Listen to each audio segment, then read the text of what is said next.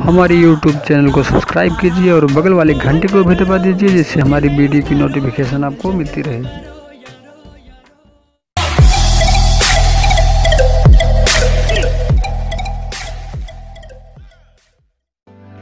नमस्कार दोस्तों, मैं हूँ आपका दोस्त सोनू और आप देख रहे हैं यस न्यूज़।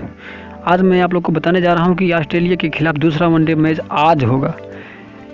और टीम इंडिया का प्लेइंग एलेवन क्या होगा आपको बता दें कि पहले मैच में जीत हासिल कर ऑस्ट्रेलिया के खिलाफ पाँच वनडे मैचों की सीरीज़ में एक ज़ीरो से बढ़त लेने वाली भारतीय टीम आज ईडन गार्डन स्टेडियम में एक और जीत के इरादे से उतरेगी।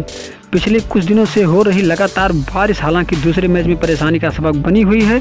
इसी बीच मौसम विभाग ने भारी बारिश की संभावना भी जताई है। अगर विकेट को ज़्यादा समय तक कवर के अंदर रखा जाता है और उसे धूप नहीं मिलती है तो यह गेंदबाज, गेंदबाजों को शुरुआत में मदद कर सकती है। ऐसे में मेहमान टीम को फ़ायदा हो सकता है। उनके पास नाथन, क्लटर, नाइल हैं, जिन्होंने पहले मैच में शुरुआत में ही तीन विकेट लेकर भारत को बैक फुट पर धकेल दिया था। इस मैच में एक बार फिर सभी की निगाहें, लेग स्पिनर युजवेंद्र चहल और चाइना मैन कुलदीप यादव पर रहेंगी।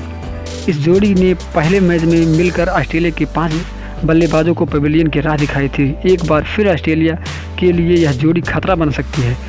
भारतीय टीम में किसी भी बदलाव की संभावना कम है। अजिंक्य रहाणे की जगह विराट कोहली अपनी आईपीएल टीम के खिलाड़ी लोकेश राहुल को रोहित शर्मा के साथ पारी की शुरुआत करने के लिए उतार सकते हैं। वहीं रोहित का ईडन गार्डन स्टेडियम से प्यार किसी से छिपा नहीं है। उन्होंने इसी मैदान में 2014 में श्रीलंका के खिलाफ दो सौ चौंसठ रनों की तूफानी पारी खेली थी।